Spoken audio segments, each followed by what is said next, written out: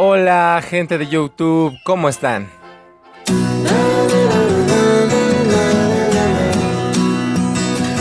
En esta ocasión vamos a reaccionar a un video que en verdad me flipa. Eh, se llama eh, La España del futuro para Euro y Mundial. Tal vez a lo mejor al ver este video no voy a saber muy bien eh, algunos jugadores porque pues, son jugadores jóvenes, tal vez que no se conocen todavía mucho, pero estoy en la mejor disposición de aprender porque pues España, España es una selección que amo, que adoro y es un verdadero placer ocular verlos jugar. Así que sin más choro, vamos a ello. Comienza el video, chavos, vamos a hacer eh, la pantalla en grande y bueno, ponle play. Buenas amigos, España se ha dado una buena hostia, ¿eh? Un batacazo en toda regla en un mundial en la que se vio una España con pocas ideas, que en ningún momento tuvo profundidad, creatividad y velocidad en la creación. Un equipo sin su líder Lopetegui porque Rubiales decidió despedirlo y eso fue como la crónica de una muerte anunciada. Ahora tocará recomposición y lo primero saber quién será el entrenador. Ahora, yo no sé muy bien, eh, perdón que interrumpa luego, luego al principio, pero eh, no sé si para ustedes los españoles, si algún español está viendo esto, ¿ustedes creen que si hubiera seguido Lopetegui, eh, la selección española hubiera llegado un poco más lejos? no sé, es una duda que como que tengo, no sé. El estilo no se va a tocar, eso seguro, pero sí que se debería tener más planteamientos en el librito como tenía Lopetegui, más alternativas. El que venga también tendrá que sustituir a jugadores que han anunciado su retirada de el dios del fútbol, como el mito Iniesta. Un antes y un después en la vida futbolística española tras la aparición de este tipo, sin lugar a dudas. Yo igual, este estoy es el de acuerdo. Estelar que iba a Rusia con mucha ilusión de hacer algo grande y para futuros eventos como la Euro del 2020 Iniesta no estará como hemos dicho y que anunció en su día que tras el Mundial lo dejaba y Silva para la Euro tendrá 34 años así que se presupone su retirada de la roja. Pongo entre interrogantes a Ramo, que ha dicho que quiere llegar hasta el próximo mundial, algo que me parece posible dado su carácter y liderazgo. Busi tendrá 32 años. Como Rafa Márquez. La Eurocopa y puede llegar perfectamente. Y Diego Costa lo mismo, aunque hay delanteros que vienen pisando fuerte. Lo que está claro es que hay jugadores que seguirán. Deben de elaborar un equipo con Isco como estandarte. Asensio debe dar un paso en firme ya y ser un referente. Tiago Alcántara seguirá porque todavía es joven, al igual que Saúl y Coque del Atlético de Madrid. En defensa Nacho, Carvajal, Sergi Roberto o Jordi Alba también seguirán. En la delantera Morata, lo normal es que vuelva y estará Rodrigo. Para mí Morata se me hace un muy buen delantero, la verdad. A mí no, no me gusta mucho Diego Costa, siempre lo he dicho. E igual siempre he dicho que el mejor jugador de estos últimos tiempos no es ni Messi ni Cristiano, sino es Andrés Iniesta. Siempre lo he dicho, siempre lo he dicho. Vamos a seguir viendo. Estoy de acuerdo con muchas cosas. Con respecto al tema de la portería está bien cubierta pese a las críticas a De Gea, que he visto desmesuradas. Las críticas es un porterazo para mí todos los porteros fallan alguna vez. Es incomprensible que se le critique tanto. Él solo tuvo un fallo, que fue en el primer partido frente a Portugal. En los demás casos no pudo hacer nada. Pero ojo porque también está Kepa, que le va a competir el puesto. Ese portero Kepa, ¿en qué equipo juega? Aquí vienen cosas que yo sabía que no iba a entender. O sea, Kepa, ¿en qué club juega? No, la verdad no lo conozco ese portero. Tiene fuerte el vizcaíno Así que España no se tiene que preocupar porque tiene la portería ocupada para más de una década. Wow. La portería no hay problemas, chavos. Como centrales, además de jugadores contrastados como Bartra o Íñigo Martínez, hay jóvenes promesas como Vallejo del Madrid, un centralazo que lo tiene 21 añitos. necesita tener regularidad. Jorge Meré ha bajado con el Colonia, pero suena para varios clubes de primera. Aritz Elustondo poco a poco tiene más protagonismo en la Real Sociedad, jugador de calidad. Este me gusta muy especialmente, Unai Núñez, vaya cojones que tiene, vaya curso se ha marcado con el Athletic, muy contundente y seguro atrás. No lo, no lo conozco mucho a este jugador, ¿eh? Y eso que es de mi Atleti, o sea... Tengo que ponerle Más ojo a este jugador que no lo conozco. En los laterales por la derecha está difícil con Carvajal, Sergi Roberto y Odriozola. Pero hay jóvenes como Paul Lirola del Sassuolo que ha crecido mucho. El ya clásico Bellerín, que es otra posibilidad y todavía es joven. Y Mafeo, que acaba de fichar por el Stuttgart tras su buen año en el Girona. Por el otro lado, Gallá es el favorito para suceder en un futuro a Jordi Alba. También está su compi Tony Lato y Grimaldo, que se está haciendo un gran lateral en Portugal, muy ofensivo. Muchos jugadores españoles jugando en ligas, este, bueno, europeas que no es España, ¿no? Eso está, eso está muy bien porque eso le viene bien. Es como, no sé, es como el jugador mexicano, obviamente no, no estoy comparando el nivel Europa con aquí Latinoamérica, pero el jugador mexicano a veces no sale mucho porque pues aquí está muy muy bien pagado, entonces no sale a menos de que sea Europa, no sale a otras ligas como, eh, no sé, eh, la brasileña, la chilena, la colombiana, no sale, no sé por qué, bueno, sí sé por qué, porque pues están muy cómodos aquí. Y eso está muy bien, que España salgan y que haya muchos jóvenes promesas en otros países europeos. La sombra de Busquets es alargada, lo normal es que le suceda a Rodri que acaba de fichar por el Atlético, promete mucho y con el Cholo seguro que va a crecer. Otro sustituto podría ser Mikel Merino que está en Newcastle pero saldrá este verano, puro músculo Mikel.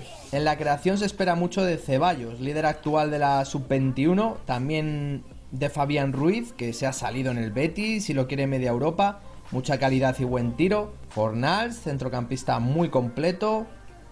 Carlos Soler del Valencia, jugador de equipo, trabajador y con calidad. Y para más adelante las joyitas Fran Beltrán, básico para ese rayito de primera. Brahim Díaz, del que Guardiola ha dicho que lo tiene todo para ser un jugador top. Wow. Aleñá, el Maradona de la Masía. Y Sergi Gómez, o Sergio Gómez, una zurda prodigiosa, ex del Barça, ahora en el Borussia Dortmund, uno de los mejores jugadores del pasado Mundial Sub-17. Tiene un buen de jugadores promesas España, en me sorprendo. Luis Alberto, si sigue jugando también como ahora, será una posibilidad. Suso, el talentoso jugador que puede salir del Milan, puede dar un paso adelante. Muniain, ojo, si se recupera bien de su lesión de rodilla, tiene calidad de sobra para volver a la selección. Oyarzábal debe ser más regular, pero sin duda hay que anotarlo como posibilidad, al igual que Denis Suárez, que yo creo que debe salir del Barça para seguir creciendo. Samu Castillejo, jugador de gran zurda, al igual que Oyarzábal, le pasa lo mismo, debe ser más regular. Como también le pasa a Deulofeu, que comienza otra etapa en la Premier League. Deulofeu, ese nombre que onda, está un poco cool. está chido, está chido. A mí me hubiera gustado que me, que me pusieran así, Deulofeu. José Arnay también tiene muy buena pinta. Como también la tiene Embulá, proyecto para futuro, ex del Barça, ahora en el Mónaco. Pura potencia este chico. Ferran Torres ya en el primer equipo del Valencia, desborde y calidad del jugador Che. Como arietes hay muchos, como Portu del Girona, Gerard Moreno, que vuelve al Villarreal mejor que nunca, el veloz Iñaki Williams, Sandro, el killer Mariano y ya para el futuro Borja Mayoral. Eso se parece a Miguel Ayun. Vamos a seguir viendo. Y el potente Abel Ruiz, un 9 de referencia de calidad de la Masía. Este es el 11 que podríamos ver próximamente con Ramos en la defensa todavía. Y bueno he puesto a Nacho pero lo dicho podría ser eh, Bartra o Íñigo Martínez o Unai Núñez Alguno podría coger ese puesto, incluso Javi Martínez que está en el Valle. Saúl debe dar un paso adelante y estar en el centro del campo ya de titular con Busquets. Isco yo le centraría más para ser el protagonista en la creación de España. Y bueno, puesto en la derecha a Suso, aunque bueno, hay muchísimos jugadores que pueden actuar en esa posición, como Oyarzábal, por ejemplo, ponerle por la izquierda y Asensio por la derecha, o, o Luis Alberto. En el puesto 9 he puesto a Morata, Rodrigo, igual Diego Costa llega a la Eurocopa. Esta es la España futura para 2022 para adelante y bueno, ya veis los cambios. O sea, esta ya sería eh, la selección para el Mundial, ¿no? O sea, de eh, próximo. La verdad sí, son puros nombres ya casi nuevos, ya, o sea, solamente los de siempre serían pues Isco, un poco Asensio, sí lo, lo conozco, y pues Morata, no sé, y, pero bueno, de ahí pues sí, sí, sí serían muy nuevos. Vamos a ver qué, qué nos dice este tío. Ramos, el líder en mm. defensa, con Unai, con Vallejo, con Rodri ya en vez de Busquets, con Isco y Ceballos o Fabián. Y luego pues eh, Ferran Torres por la derecha, que es un jugador que lo tiene todo para ser un crack mundial. Podría ser también en Bula, en Bula por ahí por la derecha perfectamente. En el puesto 9 he puesto a una realidad como Morata, que todavía tendrá 29 años cuando llegue 2022, o Abel Ruiz, que para mí es el futuro, futuro 9 de España. También lo más normal es que Kepa ya sea el portero titular. Pero bueno, en conclusión, España saca jugadores de debajo de las piedras y en ese sentido tiene asegurada una buena selección. No, no sabía, pero este tiene muchos. tiene muchos jugadores, promesas, España, muchos. Si tenéis algún nombre que se me haya olvidado. Y bueno, yo creo que aquí el video, chavos, aquí concluye. Vamos a leer rápidamente algunos comentarios, ¿no? Eh, a ver, vamos a leer el primer comentario. Ojalá volvamos a hacer lo que éramos en 2010. Podemos formar nuevos jugadores ya que se van eh, el Dios, que ya dije, mi Iniesta, ¿no? Y, y, y Piqué, ¿no? A, Ramos, a Busquets les queda poco. Like, como siempre, tricuartista. No sé, no, no, sé si qué quiso decir este desgraciado. El siguiente comentario dice: Sergi Roberto de volante andaría muy bien. Habrá que ver. Alemania del futuro. Haz uno del futuro de Colombia. Eh, yo creo que Lucas Vázquez será titular para el Euro 2020. Pues bueno, chavos, yo la verdad me identifico mucho porque pues México igual está en ese cambio generacional. Y bueno, eh, este video me ha encantado. Eh, y lo, como que con lo que me voy es de que España tiene un buen de jugadores y creo que este cambio generacional no lo va a sufrir tanto.